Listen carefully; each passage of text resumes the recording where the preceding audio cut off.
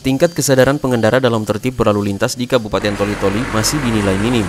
Hal ini menjadi alasan bagi Satuan Lalu Lintas Polres Toli-Toli melakukan penekanan tingkat pelanggaran dengan cara operasi rutin hingga sosialisasi kepada masyarakat umum.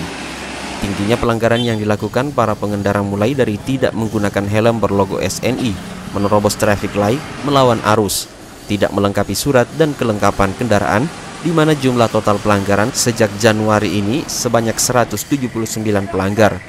Guna menekan tingkat pelanggaran, pihaknya terus gencar melakukan operasi rutin dan tak henti-hentinya juga melakukan sosialisasi kepada masyarakat. Setidaknya langkah ini bisa meminimalisir angka kecelakaan lalu lintas.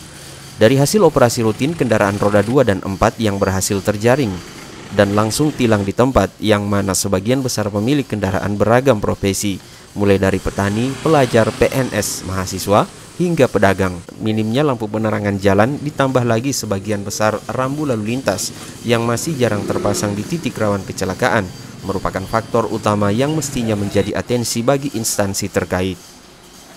Dengan digelarnya operasi rutin di kota penghasil cengket terbesar di Sulawesi Tengah itu, pihak Satlantas Polres Toli-Toli berharap kesadaran para pengendara meningkat Terlebih lagi pasca penindakan yang dilakukan dapat menimbulkan efek jerah bagi para pelanggar, sehingga tidak kembali mengulangi perbuatan yang sama. Selain itu, operasi rutin ini juga bertujuan untuk meningkatkan tingkat keselamatan berlalu lintas dan kepatuhan hukum masyarakat terhadap perundang-undangan lalu lintas. Dari Kabupaten Toli-Toli, Sulawesi Tengah, Satriani News melaporkan.